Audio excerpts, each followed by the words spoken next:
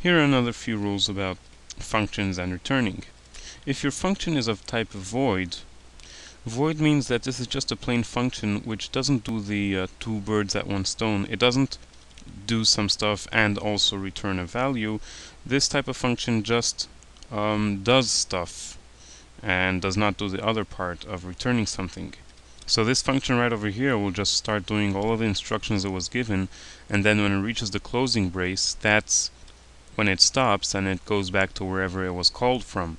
Since nothing is being returned it is not uh, considered an expression so you can't like try to assign uh, what comes out of function 1 to a variable x for example because uh, nothing comes out of the function 1 function 1 returns void which means nothing is coming out of it, nothing is being expressed from this function 1.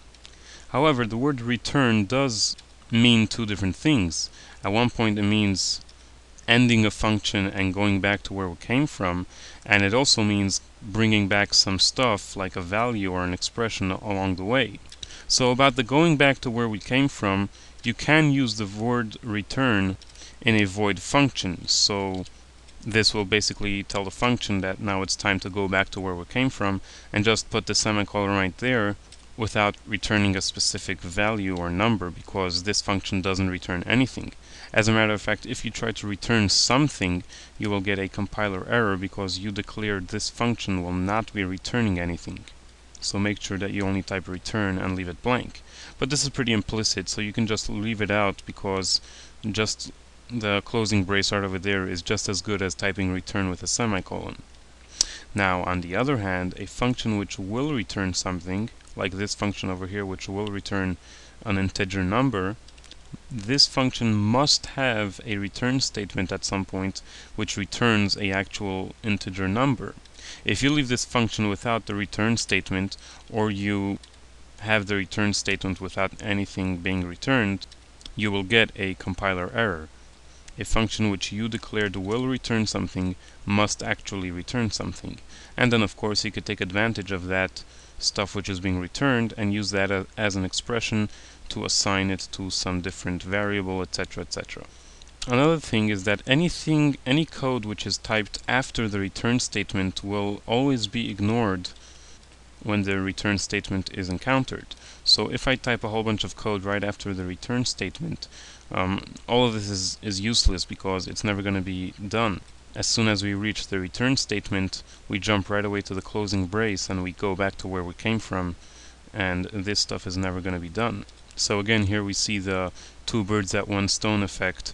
At one hand, what we're saying over here is we'd like to stop right here, the function, and go back to where we came from and therefore none of this is going to be done because we're skipping ahead we're going right away back to where we came from and of course at the same time we are bringing along the way some value some sort of expression which will be expressed in the calling function.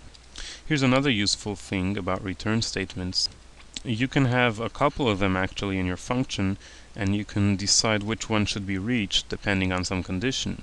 So you could like evaluate if x is more than 10 then we will return this stuff over here.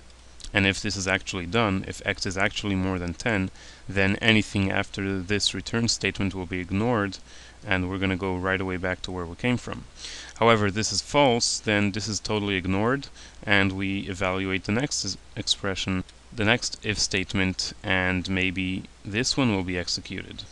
However, when doing this, make sure that at some point every single possibility is covered because we don't end up in a situation where this was false and this was false and we end up having a function which must return a value and in the end it doesn't because we didn't think about every possibility of the conditions which make it return something.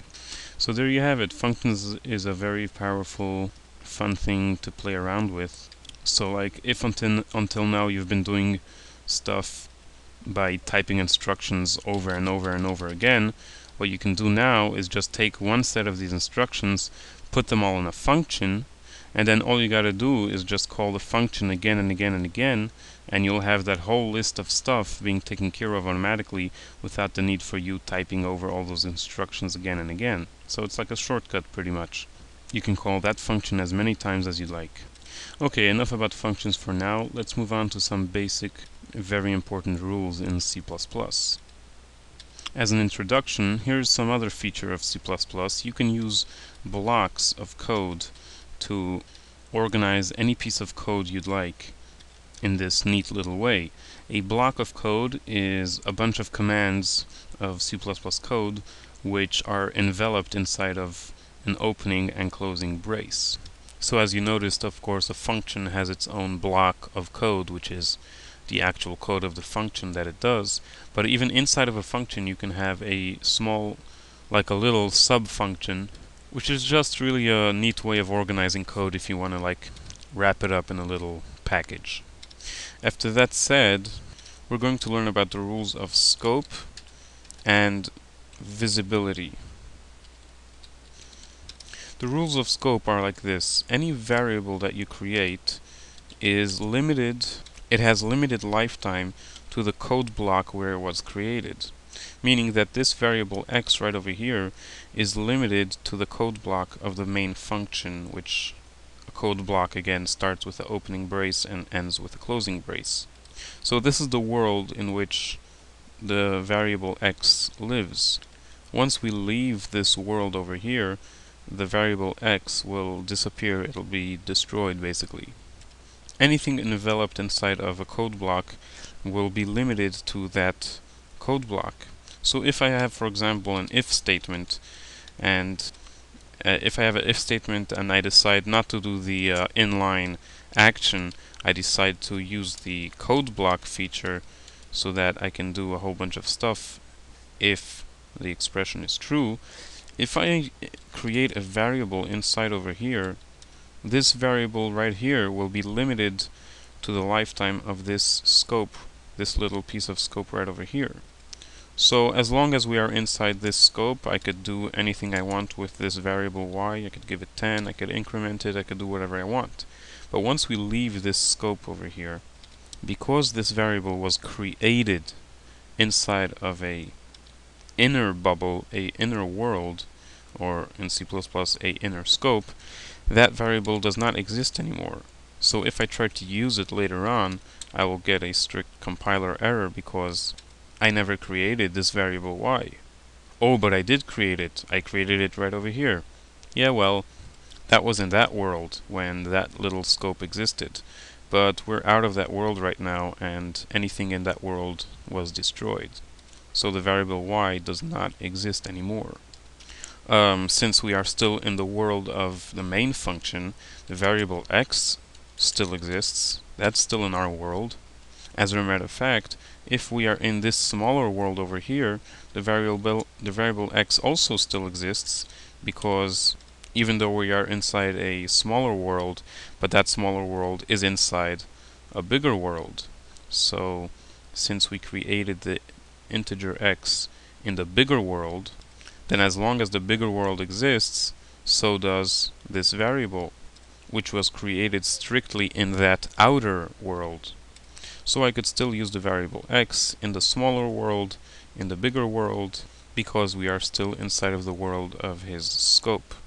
So again, basically the rules of scope is that anything inside of braces and of course, in C++, everything is inside of braces because everything is happening inside of functions, whether it's the main function or other functions. So everything being created, again, being created specifically inside of a certain scope has limited lifetime to live as long as that scope exists.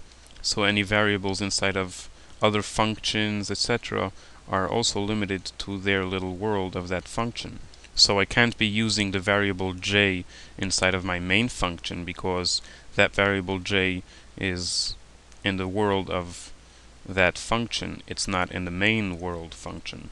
And I can't use the variable x in this function over here because variable x exists in the world of main. It doesn't exist in the world of this function over here everyone belongs to the world where they were created.